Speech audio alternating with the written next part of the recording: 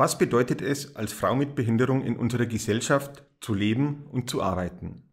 Welche Hürden und Herausforderungen werden erlebt?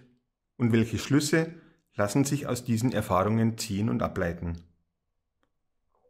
Um diese Fragen zu beantworten, greifen wir auf die wissenschaftliche Expertise sowie auch auf die persönlichen Erfahrungen von Frau Magistra Barbara Lefz zurück, die an der Uni Graz und der PH Steiermark arbeitet. Ich habe in einem Video für den MOOC Inklusion, Vielfalt als Chance, Grundlagen inklusiver Pädagogik, äh, bereits über die Situation von Frauen mit Behinderung gesprochen und Ausschnitte dieses Videos werden nun zu sehen sein. Grundsätzlich sind Mädchen und Frauen mit Behinderung in einer Situation, wo sie eben aufgrund des Geschlechts und der Behinderung häufig intersektionelle und mehrfache Diskriminierung erleben.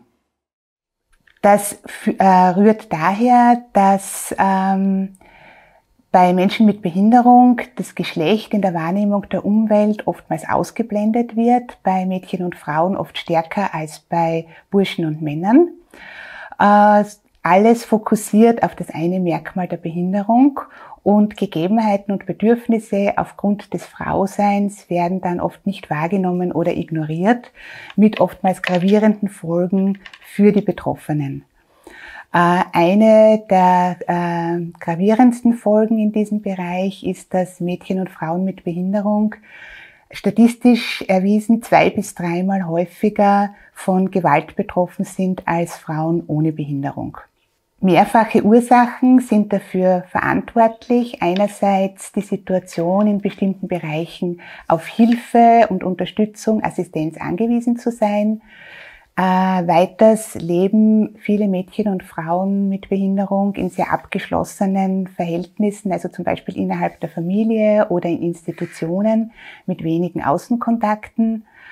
Ähm, weiters steht dahinter natürlich ein sehr abwertendes Menschenbild, also sozusagen ein, eine Geringschätzung des Geschlechts plus der Behinderung, äh, wenn es zu solchen Übergriffen kommt.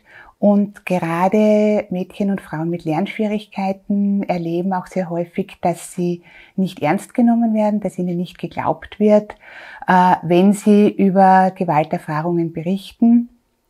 Und ebenso gerade im Hinblick auf sexualisierte Gewalt, die da eben auch häufig vorkommt. Äh, Mädchen und Frauen mit Lernschwierigkeiten werden oft nur mangelhaft oder gar nicht aufgeklärt. Das heißt, damit fehlt ihnen oft auch die Möglichkeit zu erkennen, wo es Grenzüberschreitungen gibt oder auch die Möglichkeit, selbst Grenzen zu setzen.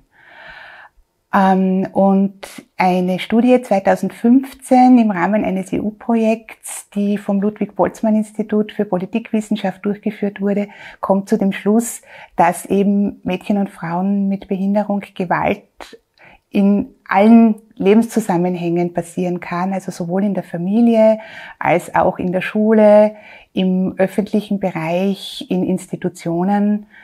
Ähm, ich kann aus eigener Erfahrung berichten, dass es auch mir manchmal passiert ist, äh, sozusagen Grabschversuche unverhohlen oder als Hilfeleistung getarnt oder sehr eindeutige verbale Angebote, die dann so implizit mitgeteilt haben, ja, ich muss ja froh sein, wenn mich jemand aufs Kreuz legen will. Ähm, das ist absolut demütigend und sehr verstörend. Mir ist aber bewusst, dass ich damit vergleichsweise wahrscheinlich glimpflich davongekommen bin und dass äh, viele Mädchen und Frauen mit Behinderung wesentlich Schlimmeres erfahren und eben dann oft auch vor der Situation stehen, dass sie nicht die Unterstützung bekommen, die sie brauchen würden, eben dass ihnen vielleicht nicht geglaubt wird oder selbst wenn die Gewaltanwendung erwiesen ist, ähm, dass das nicht so strafrechtlich verfolgt wird, wie es möglicherweise bei einer Frau ohne Behinderung der Fall wäre, sondern dass das eher in den pädagogischen, sozialarbeiterischen Bereich verschoben wird, so nach dem Motto, passen es halt besser auf sie auf.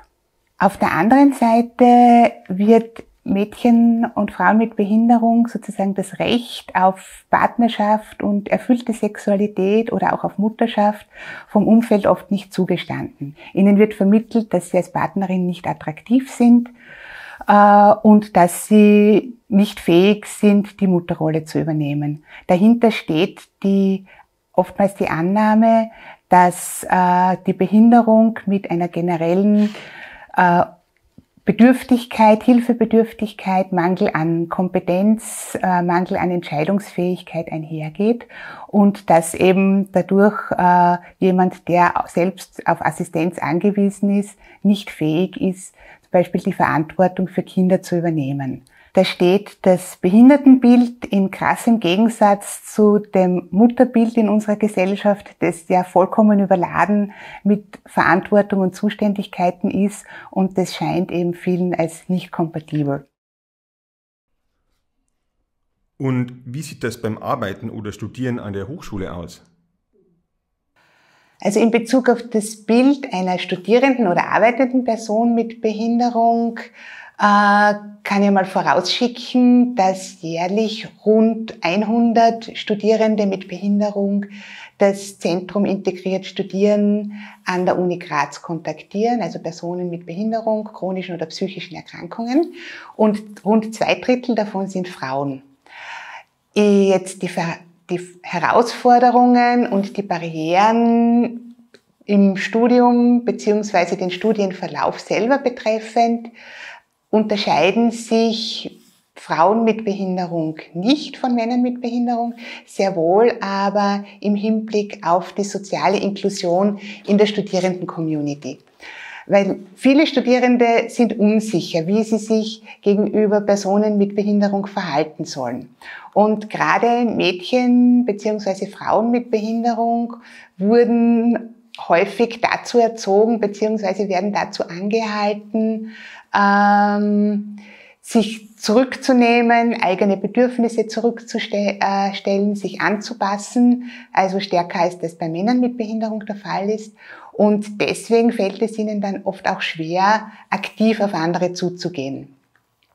Bei sichtbaren Behinderungen kommt dann oft dazu, dass medial vermittelte Bilder von bemitleidenswerten, unfähigen Personen äh, oder auch Attraktivitätsnormen oft zum Hindernis für ein unverkrampftes Miteinander werden. Und gerade wie sehr mediale Darstellungen bei der intersektionellen Benachteiligung von Mädchen und Frauen mit Behinderung wirksam werden, hat eine Studie 2017 sehr deutlich gemacht. Und zwar war das eine Studie zur Darstellung von Menschen mit Behinderung in österreichischen Leitmedien von Media Affairs. Und da hat sich gezeigt, dass nur fünf Prozent aller Erwähnungen äh, Frauen mit Behinderung betreffen und deren Darstellung zeigt sie überwiegend passiv und hilfsbedürftig während Männer mit Behinderung überwiegend aktiv, zum Beispiel im Sport oder als Vertreter von Organisationen gezeigt werden. Ähm, jetzt bei Personen mit nicht sichtbaren Beeinträchtigungen haben die Betroffenen selbst oft große Vorbehalte, sich quasi zu outen, aus Angst vor Ablehnung oder Stigmatisierung. Und das führt dann dazu, dass sie soziale Situationen vermeiden, in denen ihre Beeinträchtigung erkennbar werden könnte. Und ganz generell sind halt viele soziale Aktivitäten im studentischen Umfeld nicht in Räumen oder Bereichen, die für alle Personen barrierefrei werden. Im Vergleich zum Studieren ist es deutlich schwieriger äh, für Absolventinnen im Arbeitsleben Fuß zu fassen. Äh, hier wirken dann auch wieder stereotype Bilder von Weiblichkeit und Behinderung und mögliche ArbeitgeberInnen trauen Frauen mit Behinderung weniger Kompetenzen zu als Männern mit Behinderung.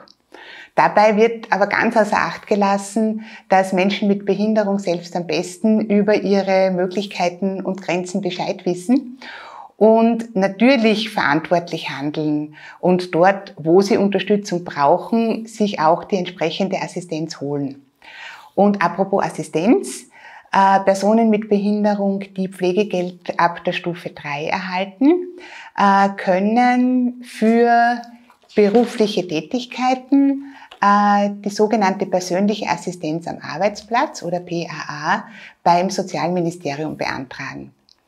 Ähm, solch, diese persönliche Assistenz am Arbeitsplatz ist auch fürs Studium möglich, wenn das Studium eine sozusagen berufliche Erstausbildung darstellt.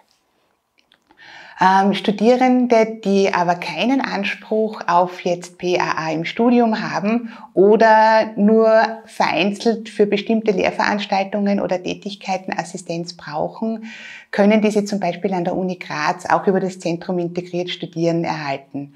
Da rate ich allen, dass sie einfach die rechtliche Situation und die Möglichkeiten an ihrer jeweiligen Hochschule checken.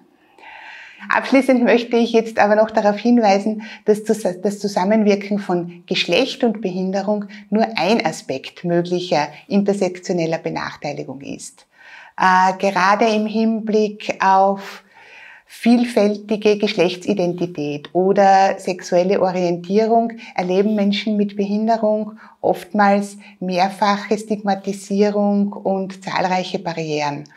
Aber auch Aspekte wie zum Beispiel die ökonomische Herkunft, Nationalität, Sprache beziehungsweise ein Aufenthaltsstatus in Österreich in Verbindung mit Behinderung äh, führen häufig zu mehrfacher Diskriminierung.